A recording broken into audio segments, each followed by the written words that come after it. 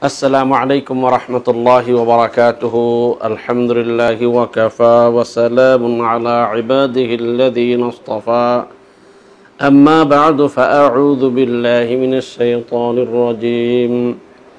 سبحان الذي أسرى بعبده ليلا من المسجد الحرام إلى المسجد الأقصى الذي باركنا حوله لنريه من آياتنا.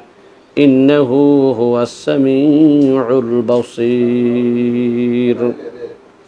اللهم صل على محمد وعلى آل محمد كما صليت على إبراهيم وعلى آل إبراهيم إنك حميد مجيد. اللهم بارك على محمد وعلى آل محمد كما باركت على إبراهيم وعلى آل إبراهيم إنك حميد مجيد সম্মানিত আমার দিনদার ইমানদার ভাইরা মহান মনিবের দয়া যে তিনি আমাদেরকে শত ব্যস্ততার মাঝেও দিন সম্পর্কে কিছু বলা এবং শোনার মতো সুযোগ করে দিয়েছেন সেই জন্য মনিবের সুক্রিয়া আদায় করি আলহামদুলিল্লাহ প্রিয় ভাইরা আমি ভূমিকা না বাড়িয়ে একটা বিষয় আলোচনা করতে চাচ্ছি, সেটা হলো, আমরা গত দার্সে রসুল্লাহ সাল আলী আসাল্লামের শ্রেষ্ঠ মজাজার একটি মজাজা সেটা হলো আল ইসরা উল মেরাজ। অর্থাৎ রসুল্লাহ সাল্লাহ আলিয়ামের মেরাজ সম্পর্কে আমরা গত দার্সে আলোচনা করেছিলাম। আজকে একটি বিষয় আপনাদেরকে সেটা জানাতে জানাতে চাচ্ছি, সেটা হলো আল্লাহ সুবহানা রসুল্লাহ সাল্লাহ আলি সাল্লামকে যে মেরাজ করিয়েছেন এই বাইতুল্লাহ থেকে বাইতুল মুকাদ্দাস পর্যন্ত, বাইতুল মুকাদ্দাস থেকে সিদ্ধাতুল মন্তা পর্যন্ত, তারপরে সিদ্ধাতুল মন্তার উপর পর্যন্ত, এই যে একটা দীর্ঘ ভ্রমণ আল্লাহ ফাক আল্লাহ রসুলকে করিয়েছেন, এর মধ্যে রহস্য কী ছিল? হিকমত বা রহস্য কী ছিল? কী কারণে? কেন আল্লাহ ফাক আল্লাহ রসুলকে এই কাজটা করাইলেন?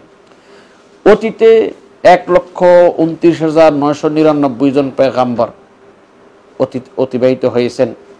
কারও সাথে এমন কাজটি হয়নি। শেষ মাত্র শুধুমাত্র, কেবলমাত্র সর্বশেষ নবী, সর্বশ্রেষ্ঠ নবী মোহাম্মদ রসুল্লাহ সাল্লাহ আলী ওসাল্লামের সাথেই এমন কাজটি হয়েছে। তাই আমরা বলব যে, এর কারণ কি ছিল? কি রহস্য এর মধ্যে লুকাইতেছিল আমি এ ব্যাপারে মোট আটটি পয়েন্ট আপনাদেরকে শোনাবে আটটি বিষয়ে জানাব, অর্থাৎ অনেকগুলা রহস্যের মূল মূল আটটি রহস্য আপনাদেরকে জানাব। প্রথম রহস্যটা হলো যে আল্লাহ সুবহান তালাদের সর্বময় ক্ষমতার একচ্ছত্র মালিক, এটা বোঝানোর উদ্দেশ্য। আল্লাহ সুবহান যেহেতু সর্বময় ক্ষমতার মালিক, তিনি যে মুহূর্তের মধ্যে কি ঘটাতে পারেন, কি করতে পারেন, তার একটা জ্বলন্ত প্রমাণ রসুল্লাহ আসলামের মেয়েরাজের মাধ্যমে তিনি প্রমাণ করেছেন। কেননা সেই যুগে বাইতুল্লাহ থেকে বাইতুল মকাদ্দাস পর্যন্ত পৌঁছতে এক মাস সময় লাগত। ফিরে আসতে এক মাস। তারপরে এই সপ্তম আকাশ তরিটার কত বছরের প্রয়োজন সেটাতে একমাত্র আল্লাহ ভালো জানে। এই যে একটা লম্বা ভ্রমণ রাতের এক অংশের মধ্যে আল্লাহ আল্লাহ রসুলকে করেইছেন, এটা আল্লাহর কুদরতে কামেলার আল্লাহ পরিপূর্ণ ক্ষমতার মালিক তার একটি প্রমাণ। এটা প্রকাশ করাটাই আল্লাহর উদ্দেশ্য ছিল, তাই তিনি এর মাধ্যমে প্রকাশ করেছেন। দুই নম্বর হলো যে, এই ইসরা এবং মেয়ারাজ, এটা মোমিনদের জন্য খাসভাবে একটা পরীক্ষা আর আমভাবে কাফেরদের জন্য এটা একটা পরীক্ষা। কারণ এই ঘটনাটা বিশ্বাস করে নেয়াটা হঠাৎ কেউ শুনলে এটা আশ্চর্য হওয়ার কথা। তবে সে সকল মোমেনরাই মনে প্রাণীরা মানে সন্দেহমুক্তভাবে বিশ্বাস করতে পারবে যারা আল্লাহ এবং তার রসুলের প্রতি সত্যিকারের ইমান এনেছিল।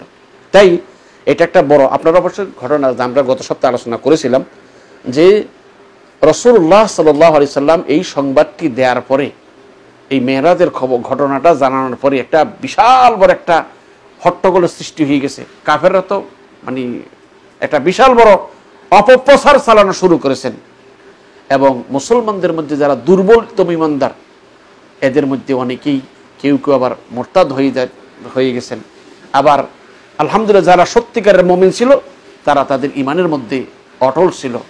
তবে যারা ইমানের মধ্যে দুর্বল ছিল বা সত্যিকারের ইমানদার ছিল না, তাদের অনেকেই হয়তো বা মরতাদ হয়ে গেছে তাই প্রিয় ভাইরা, এটা এই হেকমত হলো যে এই ম্যারাজের রসুস্তামকে ম্যারাজ করানোর মধ্যে একটা বড় হেকমত হলো যে ইমানদারের ইমানকে পরীক্ষা করা আর কাফেরদের মধ্যেও এটা একটা, তাদের জন্য এটা একটা পরীক্ষা স্বরূপ।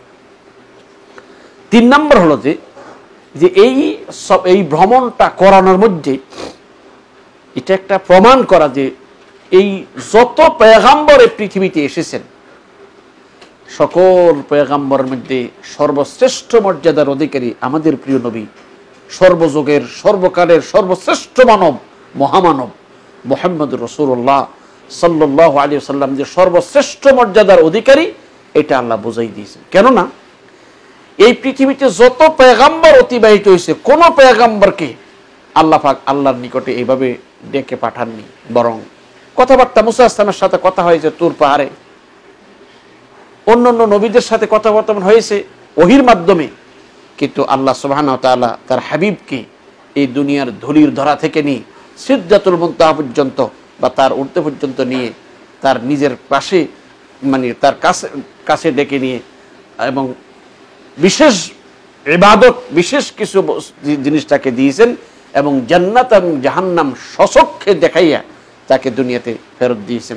তাহলে এটা বোঝা গেল যে মোহাম্মদ রসুল্লাহ সাল্লাহ আলী ওসাল্লাম সর্বযুগের, সর্বকালের সর্বশ্রেষ্ঠ মানব, মহামানব, এই মেয়ারাজের রাত্রে এই খাসভাবে মেয়ারাজ করাইয়া এইটাও প্রমাণিত করলেন যে তিনি সর্বশ্রেষ্ঠ মানব।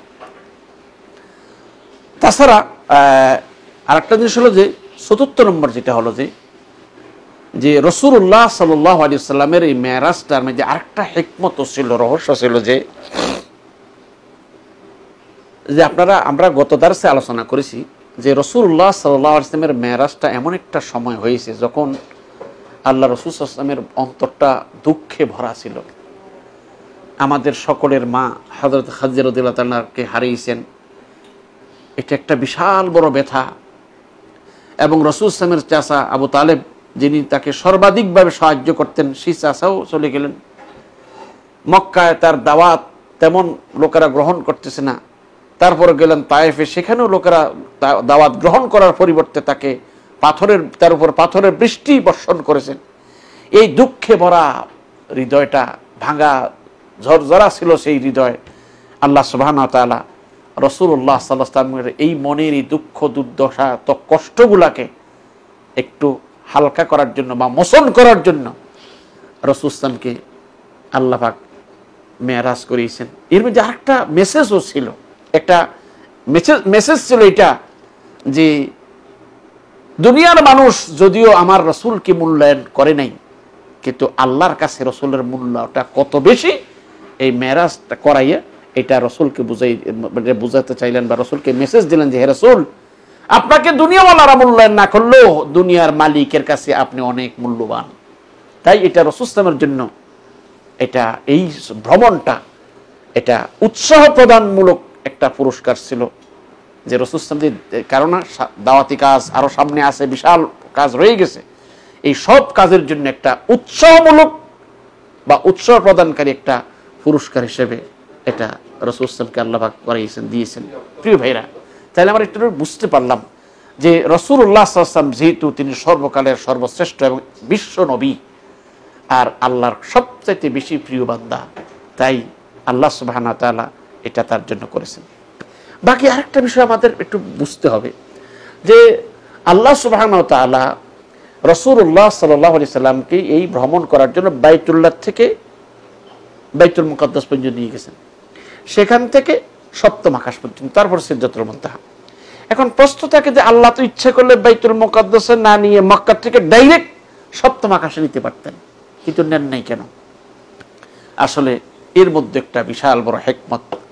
হেকমতটা হলো যে যে এই বাইতুল মুকাদ্দাস, এটা আম্বিয়া কারামদের এটা সারণভূমি সমস্ত ইব্রাহিম আসলামকে নিয়ে আরও যত হাজার হাজার পেগাম্বর এই বাইতুল মুকাদ্দাসের আশেপাশে তাদের আনাগোনা উঠা বসা ছিল। তাদের মূল মার্কাজ ছিল সেটা। এবং সব নবীদের কেবলা ছিল বাইতুল মুকাদ্দাস। এবং আমাদের প্রিয় নবী মোহাম্মদ রসুল্লাহ সাল্লাহ প্রথম সবে নামাজ ফরজ হওয়ার পরে ষোলো মাস যাবৎ হাজরত রসুল ইসলাম বাইতুল মোকাদ্দেস দিকে ফিরে নামাজ পড়েছেন। তাই এই আম্বিয়াই কারামদের যে মার্কাজ যেটা ছিল সেখানে আল্লাহ সুবাহানা তালা রসুল্লাহ সাল্লামকে সেখানে নিয়ে গেলেন এবং সেখানে সেই মূল্যবান বা সেই আল্লাহর প্রিয় জায়গাটাও রসুলকে দেখাইলেন।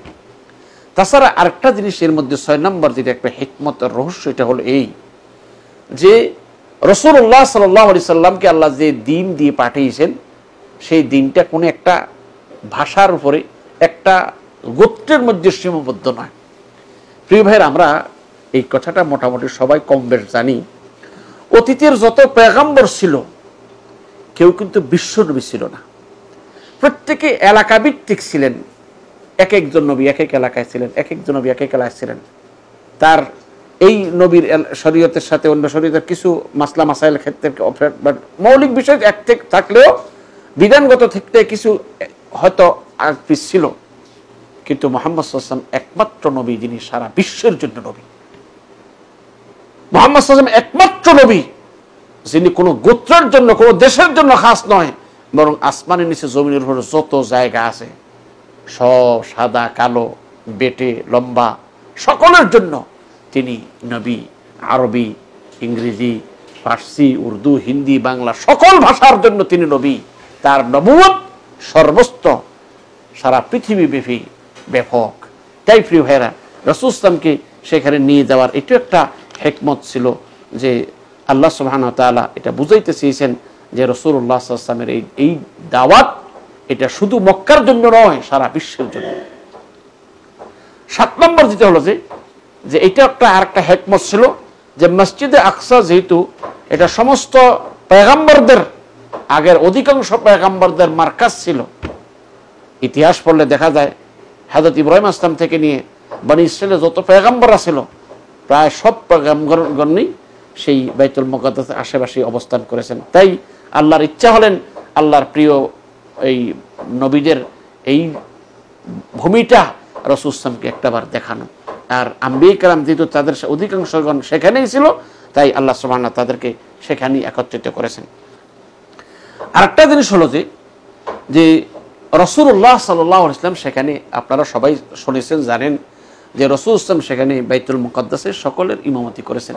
এটার মধ্যে একটা বড় হেকমত যে রসুল্লাহ আসলাম যে সৈয়দুল আউ্বালিন আখরিন, ইমামুল আম্বিয়াই মুরসালিন, তিনি যে সকল নবী রসুলের ইমাম এটাকে আল্লাহ বাস্তবায়ন করেছেন যে বাইতুল মুকাদ্দাসে সকল পেগম্বরকে আল্লাহ পাক একত্রিত করে রসুল্লাহ সাল্লাহ সাল্লামের ইমামতিতে দুই রাকাত নামাজ আদায় করেছেন। এটাতে আল্লাহ রসুলের সম্মানকে আল্লাহ আরও বৃদ্ধি করেছেন যে সর্বশ্রেষ্ঠ নবী সর্বশ্রেষ্ঠ নবী, মহানবী তিনি সর্বযোগের, সর্বকালের সর্বশ্রেষ্ঠ মানব। যদিও পৃথিবীতে এসেছেন পরে, কিন্তু মর্যাদা আল্লাহ তাকে সর্বোচ্চ মর্যাদা দান করেছেন। তাহলে এটা বোঝা গেল যে যে হজরতে রসুল্লাহ সাল্লাহ আলী সাল্লামের এই ইমামতের মাধ্যমে তিনি যে শ্রেষ্ঠ নবী, আদম সন্তানের সর্বশ্রেষ্ঠ সন্তান একটু একটা প্রমাণ হলো। তাছাড়া আরেকটা বিষয় ছিল রসুল্লাহ সাল্লাহ ইসলামের এই যে ওইখানে একটা যে স্টফিস করাইলেন, অর্থাৎ রসুলাম যে মক্কা থেকে বাইতুল মকাদ্দস পর্যন্ত গিয়ে সেখানে একটা স্টফিস ধরলেন নবীরা আসলেন সেখানে নামাজ পড়লেন। এটার মধ্যে একটা রহস্য ছিল। কারণ এটা যেহেতু বাইতুল মকাদ্দস সম্পর্কে সে আহলি কিতাবরা, ইহুদি, নাসারারা সব জানতো। তাতে এটা একটা প্রমাণও আল্লাহর ইচ্ছা ছিল যে এখানে গেলে নিশ্চয়ই ইহুদি, নাসারারা তারা প্রমাণ চাইবে। আর আল্লাহ সোমান তালা রসুস্তামের মাধ্যমে এই প্রমাণটা দিয়ে এটা সত্যায়িত করবেন। যেটা আমরা গত দর্শে আমরা আলোচনা করেছিলাম। যে রসুল্লাহ সাল্লাহ আলী আসাল্লাম যখন বাইতুল মকাদ্দাসে সেখানে গেলেন আর নবীদের সাথে নামাজ পড়লেন, সপ্তম আকাশ ঘুরে এসে আবার যখন ফরজের পরে কথা বললেন, এই লম্বা ঘটনা আপনারা কমবেশ শুনছেন, তখন মক্কার বা আরবে তখন যারা ইহুদি এবং যাদেরকে আহলি কিতাব বলা হতো, ইহুদি এবং নাসারা যারা ছিল, তারা সবাই বলে উঠল, ঠিক আছে, মোহাম্মদ সাল্লাম যদি সত্যিই বাইতুল মকাদ্দাসে গিয়ে থাকে, তাহলে মোহাম্মদ সাল্লামকে বলো যে বাইতুল মকাদ্দাসের বর্ণনা দিতে। বাইতুল মকাদ্দাসের দরজা কয়টা, জানালা করা এক কথায় বাইতুল মকাদ্দাসটা কেমন? এটা একটা প্রমাণ দরকার। তাই হাদিসে আছে যে হাজরত রসুল্লাহ সাল্লাম খুব পরেশান হয়ে গেলেন।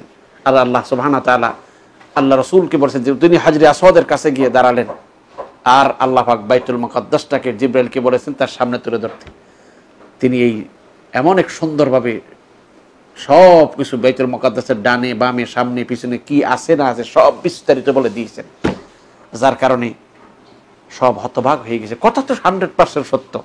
তাহলে বোঝা গেল যে একটু একটা হেকমত ছিল যে সব আহলে কিতাবগণ সাক্ষী দিয়েছে রসুস্তম সেখানে গিয়েছেন। তাহলে এটাও রসুলের সত্যায়নের জন্য এটা একটা হেকমত বা কৌশল ছিল, সাথে অন্য কৌশল তো আছেই। তাই আরেকটা ছিল যে যারা পৃথিবীতে সেই ছিল এই মোহাম্মদ সাল্লামের দাওয়াতের এই বাচ্চাটাকে নিবিয়ে দিতে আল্লাহ এটা নেবেন নেই, বরং এটাকে আরও প্রসার করে দিয়েছেন। প্রিয় ভাইরা, আসুন। তাহলে আমরা এটা বুঝলাম, আল্লাহ সুবহানাহু ওয়া কোনো কাজ অনর্থক করে না, নিশ্চয়ই এর মধ্যে হেকমত আর কৌশল রয়েছে। এই কৌশলগুলোরই কয়েকটি কৌশল আমি বললাম, এছাড়া আরও অনেক হেকমত বা রহস্য রয়েছে। সময়ের স্বল্পতার কারণে বেশি বললাম না, সকলকে বলব, আল্লাহ এই যে কয়েকটা কথা বললাম, এগুলো দ্বারা আমাদের বুঝার তৌফিক দান করেন। এবং এগুলোর প্রতি দৃঢ় বিশ্বাস আমাদের মনে সৃষ্টি হয়, আল্লাহ আমাদের কবুল করুক। আমিন। আসসালামু আলাইকুম রহমতুল্লাহি ওবরাকাতুহ